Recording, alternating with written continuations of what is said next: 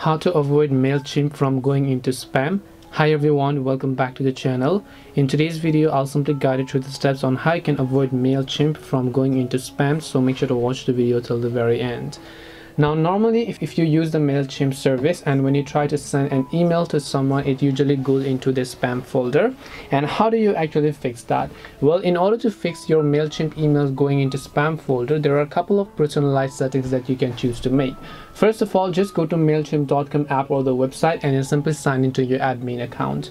Once you've done that on the left hand side the first thing we can do is simply go to the audience tab and then here you'll find a section where it says all contacts you can just go to all contacts once you go to all contacts what you want to do is on the right hand side of the screen you'll find settings.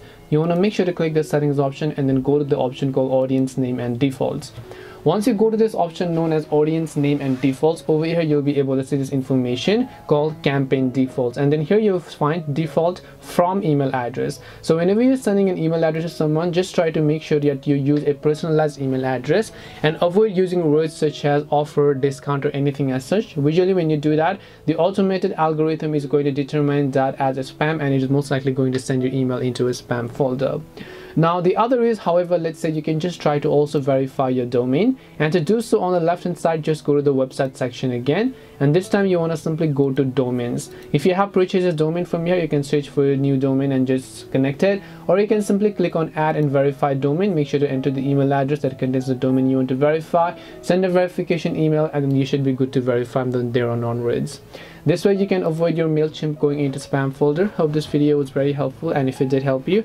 make sure to leave a like and subscribe to the channel. If you have got any questions then feel free to leave them down. Thank you for watching till the end and see you in the next video.